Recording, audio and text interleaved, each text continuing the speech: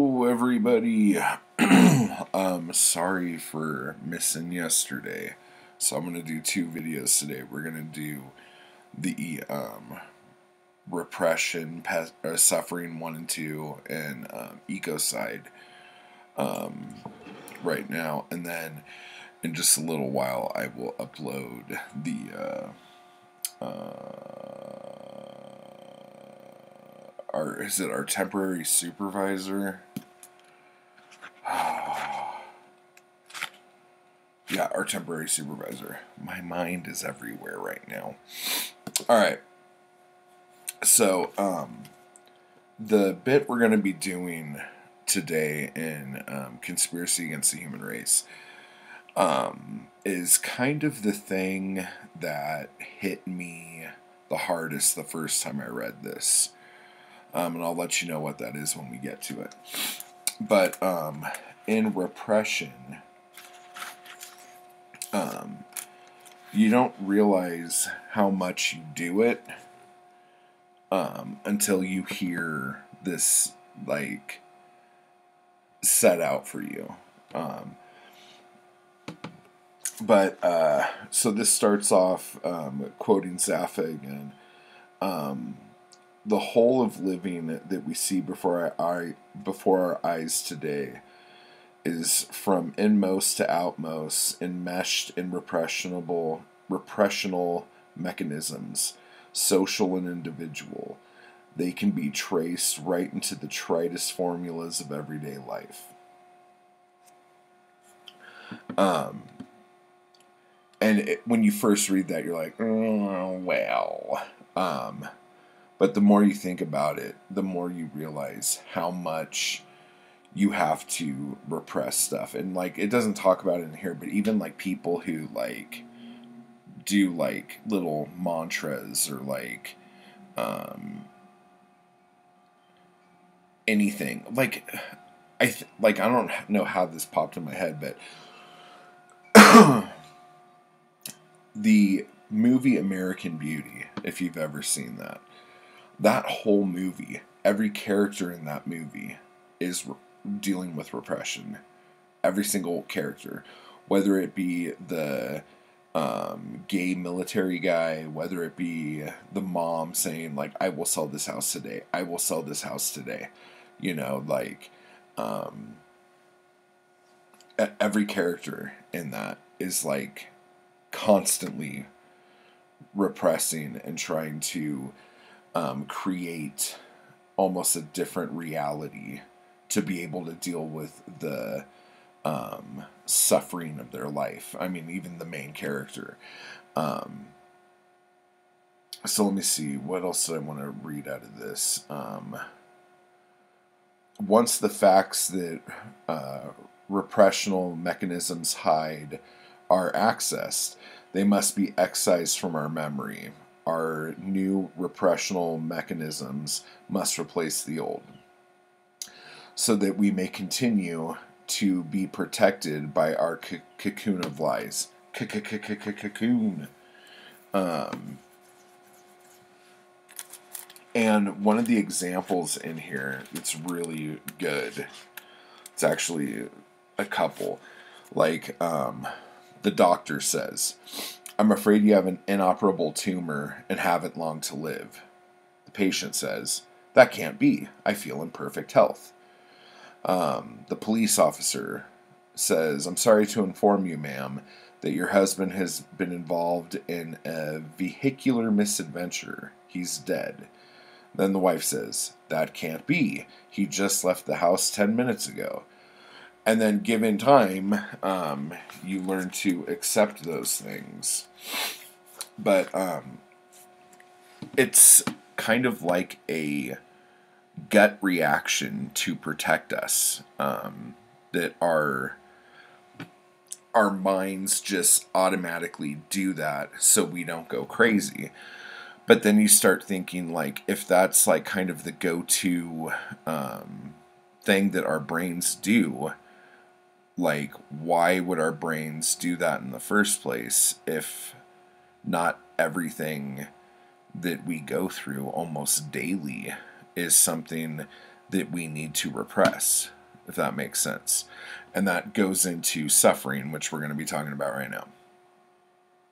Um, so there's a few things that I want to hit on here, like right off the bat. But um, for almost all philosophers who write about death, the subject is studied in the abstract, with the unsightly tangibles at its bedside either bracketed or shrugged off.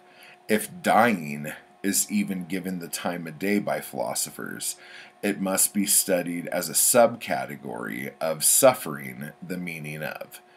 Um, and this is kind of like a big thing because when you think about it, anything you've read about death or um, even in like religious texts, when talking about death, it's always the exact death. It's not the suffering that goes in with dying. It's like just the thing, and then what happens after.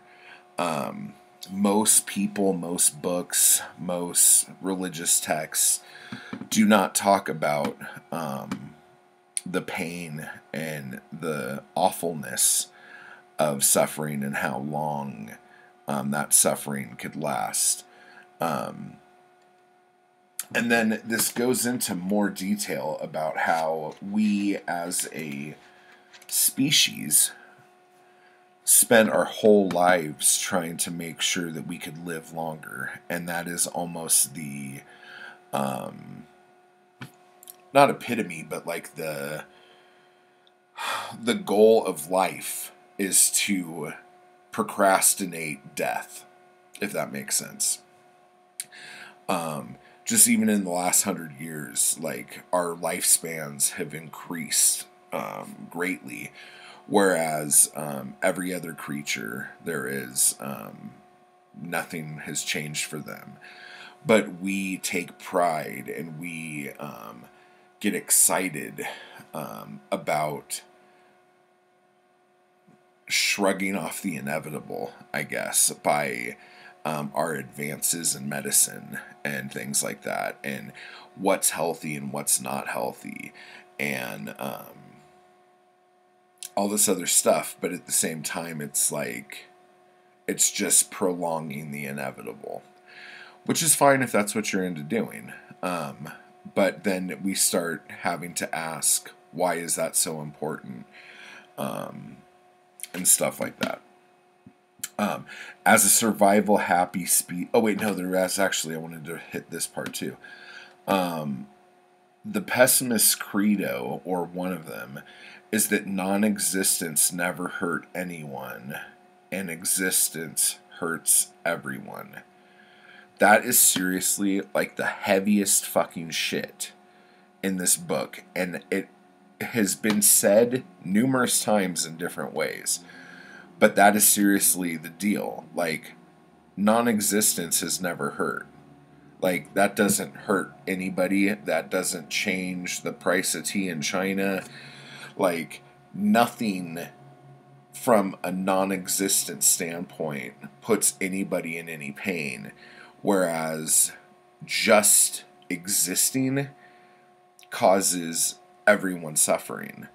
Like, there is not a single person who doesn't suffer. And whether it be you're freezing cold one night, you're starving the other night, your heart is broken, um, your mind is broken, um, you broke a bone. Like, there is just constant suffering, worrying about bills, worrying about um, things at work, uh, worrying about if that person's going to love you back yada, yada, yada. It's just constant suffering. Um, and as a survival happy species, our successes are calculated in the number of years we have extended our lives, with the reduction of suffering being only incidental to its aim. So, this goes along with a lot of stuff. Like, um, even and I'm sure some of you know what I'm talking about here like uh, people who have cancer and have to go through, um, hang on, have to go through uh, chemo and stuff like that to extend their life. Um, they're not getting rid of the suffering there, they're just extending the life. And hopefully, after all of that, everything will be fine. Um, but you will still suffer. So, um, it's funny because I was about to say it's kind of a pessimistic way of looking at things, but it's true. Like, no one can say that, like, suffering doesn't exist or these things that happen to prolong the inevitable, like, help with suffering. Um, and I mean, shit, just go to a fucking hospice if you want to see um, fucking suffering. Good shit, fucking God. Um, but anyway, so then we start talking about ecocide. And this, I've read this passage so many times. And just in the last like two days, I probably read it like 15 times. And this morning, I had this like thought that like kind of blew my mind and like opened it up. And now I'm like, shit, like, I don't know if I could ever put all that stuff back. Um, but this line here is the line that when I first read this book, um, floored me, and I had to put the book down. Um, and I thought about it for like a week before I picked the book back up because it it just mind fucked me. I don't know a better way of saying it. Um, No, I'm trying. It's not all this other shit. It's like just this little line. So basically, it says um, a capital crime in reverse, just as reproduction makes one an accessory before the fact to an individual's death. That knocked me on my ass. And I think if you go back and look at the video that I did when I first read this book, um, I kind of hung on that. Um, or maybe it was just me telling you I was reading it. And, um, but just the idea that by me procreating and having a child, I'm an accessory to my child's death like that fucking just killed me and it's fucking 100% accurate you know like um it just hurts because like I get so emotionally upset every time anything negative happens to my kid. And to think that me with all of this love in my heart for my own child um, is an accessory to my kid's death. Like, just even saying it, like, fucks me up. It just, like, really um, hits. So that's why when reading this book, the best way to look at it at is just talking theory you know, I'm sorry that the camera keeps shaking. This desk is not very stable. But um yeah, cuz if we start like internalizing everything this book says, um you will probably want to take a step off the tallest bridge you can find. Um so that fucked me up. But the thing that fucked me up today, it's talking about um I wonder if I should just read this whole fucking bit right here. I'm going to read this whole bit. Um, we did not make ourselves, nor did we fashion a world that could not work without pain, and great pain at that, with a little pleasure, very little, to string us along. A world where all organisms are pushed by pain throughout their lives to do that which will improve their chances to survive and create more of themselves. Left unchecked, this process will last as long as a single cell remains palpitating in this cesspool of the solar system, this toilet of the galaxy. So, why not lend a hand in nature's suicide? For what, for want of a deity that could be held to account for the world in which there is terrible pain, let nature take the blame for our troubles. We did not create an environment uncongenial to our species, nature did. One would think that nature was trying to kill us off or get us to suicide ourselves once the blunder of consciousness came upon us. What was nature thinking? We tried to anthro anthro I can never say that word anthropomorphize it to romanticize it, to let it into our hearts. But nature kept its, kept its distance, leaving us to our own devices. So be it. Survival is a two way street. Once we settle ourselves off world, we can blow up this planet from outer space. It's the only way to be sure its stench will not follow us. Let it save itself if it can. The condemned are known for the acrobatics they will execute to wriggle out of their sentences. But if they cannot destroy what it has made and what could possibly unmake it, then may it perish along with every other living thing it has introduced to pain. Okay, I'll stop there. Um, the thing that fucking blew my mind here was the idea like when we get off world, let's just blow the fucking planet up. And then it started making me think of nature. And if nature is a um, nature in a sense of a being, if nature is just earthbound, let's say, and some of you will say, well, no, because, you know, science proves that things outside of, like, that a lot of things still work outside of Earth, outside of Earth's gravity. But let's just say for a moment that it doesn't. If we blow the Earth up and, in a sense, destroy nature, kill nature, will our suffering cease? Will the constant state of entropy that we've all been in since the dawn of time, um, will that stop?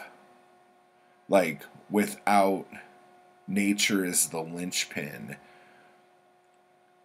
what changes would be made to our eternal suffering? Does any of this make sense? It just like blew my mind, and I was like, "Fuck!" Like um, maybe we should blow up the earth. Because my my whole thing has always been the sooner we blow all of ourselves up and kill the entire human race the earth will be fine. The earth even if we do fucking nuclear fucking winter you know and everybody's gone within a certain amount of time the earth will be back to normal. The earth will cleanse itself. The earth will be um, vibrant and full of some sort of life. It will happen again, you know. um, humans are the catalyst for the earth dying. Um, and that's always been my thing. But now I'm like, fuck, fuck, let's blow the earth up and see if uh, anything changes. Like, any metaphysical and physical shit, like fucking is different. Like that'd be a trip.